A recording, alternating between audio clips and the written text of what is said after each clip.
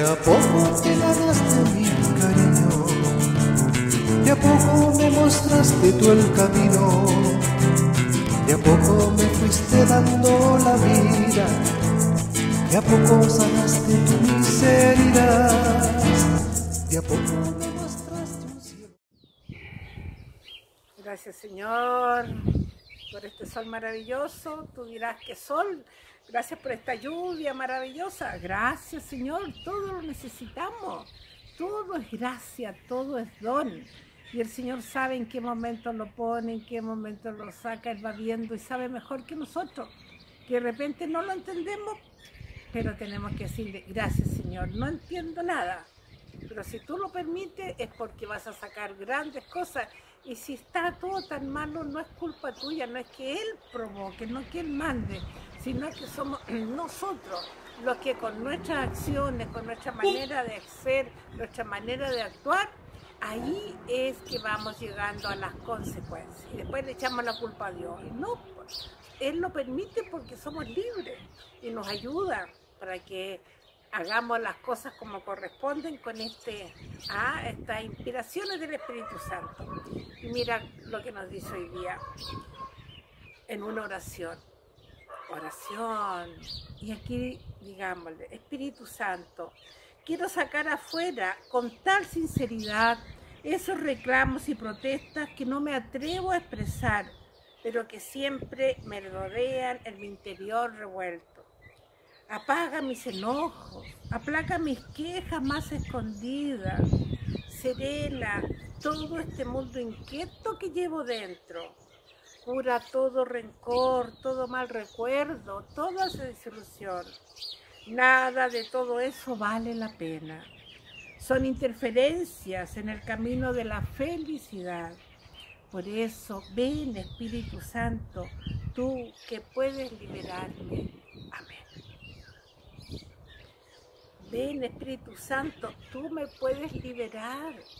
Él es el único que nos puede sacar, como dice ahí, de los rencores, de los malos recuerdos, de las desilusiones. ¿Y qué me dice el mundo? No, mira, yo conozco el último vidente que llegó, total, vámonos, una juerguita por aquí, se te olvidan todos los problemas, un traguito, una droga.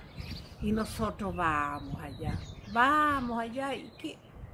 ¿Se nos solucionaron los problemas? No, y más encima tengo otros que me acarrean de ese estado en el cual quedé. Mientras tanto que el Espíritu Santo está ahí, el Señor te está llamando todos los días, acude a mí, yo quiero ayudarte, yo quiero ir.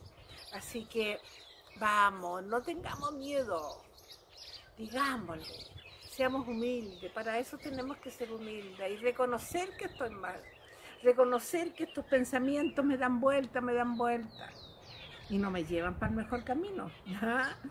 Y resulta de que el mundo me dice por allá y yo voy para allá, me dejo llevar por la masa. Así que tú no, tú para. Como dice el Señor, hay que remar contra la corriente.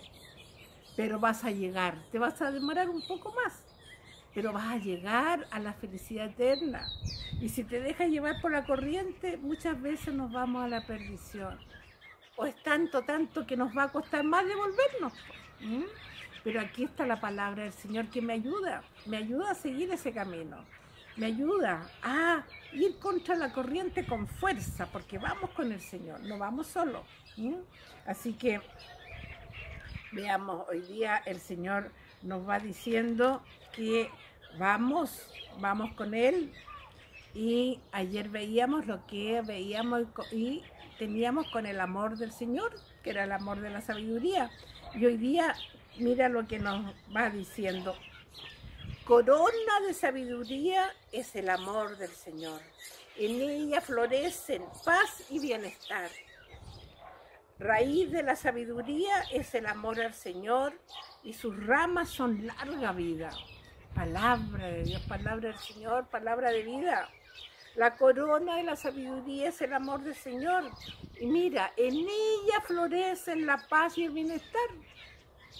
Si tú amas, pero con el amor verdadero, no se ha morido del mundo, vas a vivir en paz, ¿Por qué? Porque tú vas llevando armonía donde están. Tú no quieres los chines, tú no quieres los pelambres, tú no quieres la división, tú no quieres donde haya violencia. Entonces, ¿cómo vas a vivir? ¿Y cómo van a vivir los que están alrededor tuyo?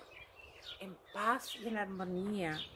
Y termina, y la raíz, o sea, la raíz ahí, el árbol para que crezca tiene que dar raíces y según cómo están las raíces es el árbol grande, frondoso. Y si tu raíz es el amor del Señor, tu raíz es la sabiduría del Señor, tus ramas van a ser largas, grandes y mucha gente va a llegar ahí a cobijarse. Así que dile, Señor, ayúdame para que tu amor me llene, para que yo pueda llenar a los demás.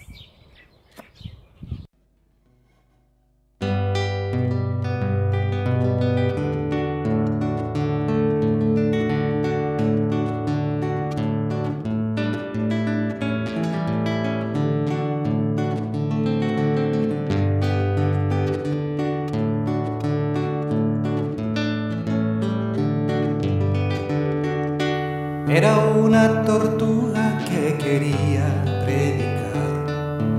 Y cada mañana se ponía a pensar qué es lo que yo puedo hacer para ser más veloz y miraba su enorme caparazón.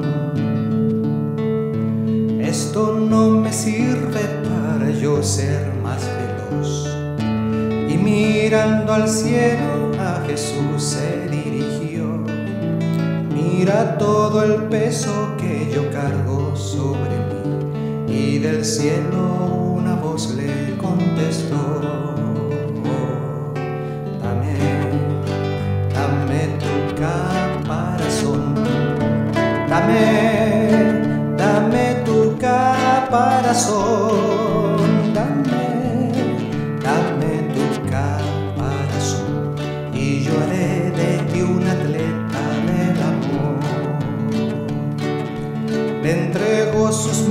Su tristeza, su dolor, todos sus fracasos y sus faltas de perdón. Llévate Jesús todo lo que me pesa a mí, porque siendo libre al fin seré feliz. Y aquella tortuga de un gran peso se libró, corría tan fuerte como nunca imaginó y de aquel milagro predicaba sin cesar. Jesús me dio